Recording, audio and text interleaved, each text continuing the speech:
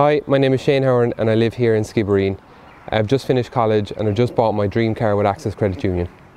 I knew the credit union was the right choice for me. Both my parents have accounts with the credit union and set up my own account. That was good enough for me. And anyway, I know half the people working there. Oh, hello Mary. Good.